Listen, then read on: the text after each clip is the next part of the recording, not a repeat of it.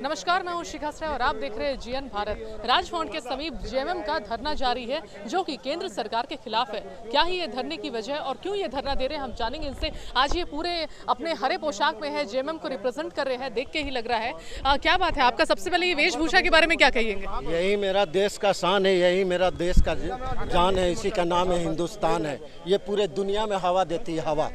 इसकी कोई भेदभाव नहीं हिंदू मुस्लिम सिख ईसाई का जो हवा का कोई भेदभाव नहीं है, जो केंद्रीय में बैठ के जो अत्याचार कर रहे हैं, जुल्म कर रहे हैं, जहाँ जहाँ उनकी सरकार नहीं है, वो जुल्म करना चाह रहे हैं, ये काम नहीं होगा। आपको मालूम होगा कि 19 साल हेमंत सरकार नहीं चलाए, बल्कि 19 साल भारतीय जनता पार्टी ने चलाए 19 साल। 19 साल के अंदर अमित शाह 2017 में यहाँ आए तो जो मैडम को छापा लगा था, उस टाइम धरानन चाहिए। मैं जो पैसा है वो मोदी का खाता में नहीं जाना चाहिए। यहाँ जो पैसा मिला हॉस्पिटल खुलना चाहिए। इस झारखंड का हम लोग का पैसा है, हम लोग का सींचा हुआ पैसा है, वो पैसा लगना चाहिए और केंद्रीय सरकार जितना कर ले, कुछ नहीं होने वाला है। आपको ये मालूम होगा आपका खास करके सोशल मीडिया पूरे दुनिया देखती है और जो मीडिया बिके हुए रहते हैं बड़ा चैनल से। मैं आपको वेलकम करते हैं आपका चैनल को। मेरे दोस्त ऑस्ट्रेलिया में है, न्यूजीलैंड है, फ्रांस में आपके माध्यम से हम उनके तक पहुंचाएँगे। और मैं बताना चाहते हैं स्पष्ट रूप से कि हेमंत सरकार जब चला रहे तो दो साल कोरोना काल आ गए फिर भी इंडिया का आठवां टॉप लीडर वो बने। क्यों बने? उनकी काम अच्छा है उनका कर्तव्य अच्छा है। उन्होंने भेदभाव नहीं किए कि ये हिंदू है मुस्लिम है सिख है ईसाई का है। धरना विशेष रूप से किस मुद्दे पर है? आपको बेहतर मालूम है मैडम की जो केंद्रीय सरकार जो घेरा जा रहा हमारे जो झारखंड मुक्ति मोर्चा महागठबंधन की सरकार है। और, हाँ। उसी के लिए हम लोग घेर रहे हैं अपनी मांग को अपने विचार को रखेंगे कि आप जो गलत ढंग से जो इल्ज़ाम लगा रहे हैं। लेकिन एक बात बताइए कहीं ना कहीं कुछ तो गलत किया होगा जो इतना बड़ा इल्ज़ाम लगा ऐसे ही तो ईडी किसी को नहीं उठा लेगी। मैडम आप सुने थे लाख छुपाए प्यार मगर दुनिया को पता चल जाएगा लेकिन छुप छुप के मिलने का मज़ा आएगा। दूध का दूध हो जाएगा पानी का पानी आ जाएगा वो फंसाने के लिए किसी को आपको भी पैसा दे देगा। और बोलेंगे मेरे तरफ़ से आप खड़ा होकर बोलिए। वो, वो काम करेंगे फरवरी फरवरी में ही जो लीज था उसको सरेंडर कर दिया गया।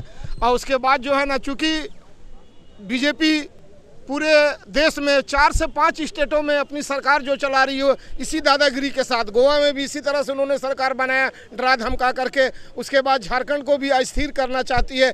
आम जनता की चुनी हुई ये सरकार है।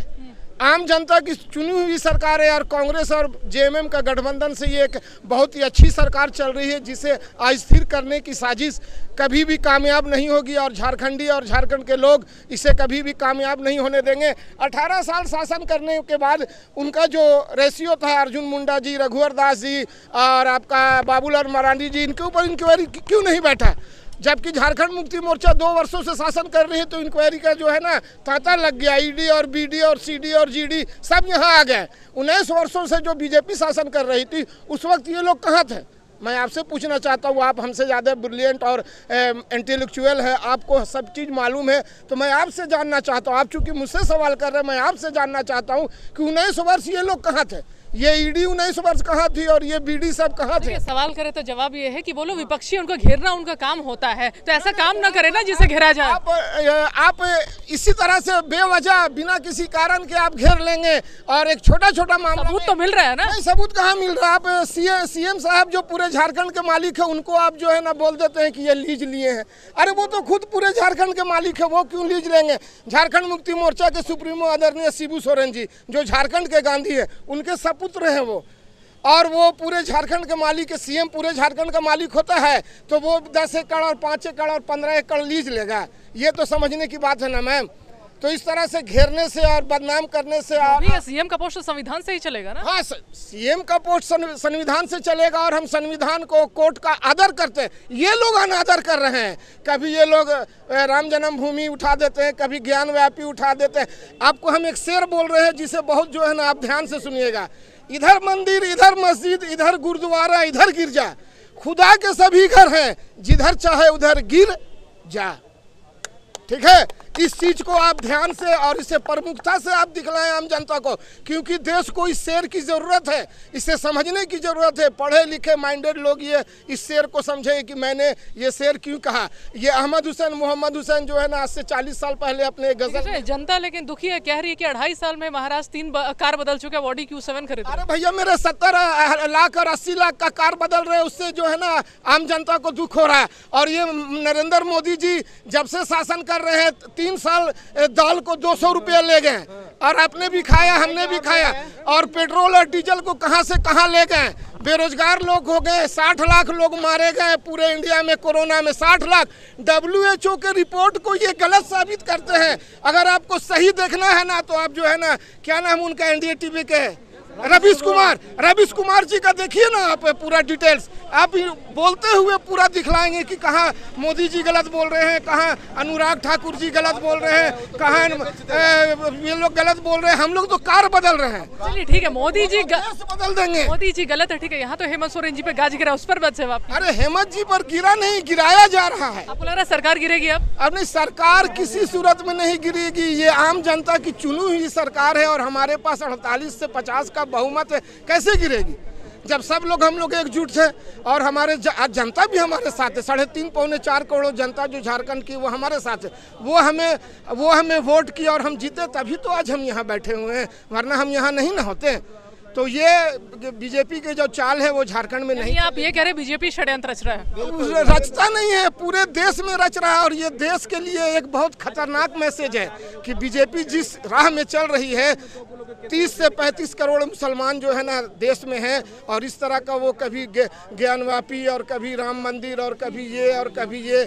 अगर ये मुस्लिम 30 से 35 करोड़ रोड में उतर गए तो क्या होगा?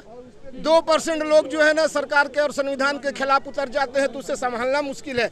कश्मीर की आबादी के दो परसेंट लोग ने हथियार उठाए हुए हैं। पिछले पचास साल से कोई उसे नहीं संभाल पा रहा। है तो आज यहाँ पे धरना देने से क्या होगा? क्या लगता है करके हम केंद्र को ये बतलाएँगे कि आपकी दादागिरी आपकी बेमानी और आपकी रंगदारी हम नहीं चलने देंगे और ना ही बर्दाश्त करेंगे।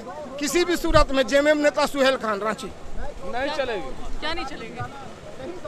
बीजेपी सरकार नहीं चलेगी झारखंड में? मैडम ऐसा वो तो है। खैर अभी है भी नहीं अभी सत्ता अभी अभी सत्ता में है भी नहीं बीजेपी सरकार। हेमंत सरकार है ना तो चलेगी वो नहीं।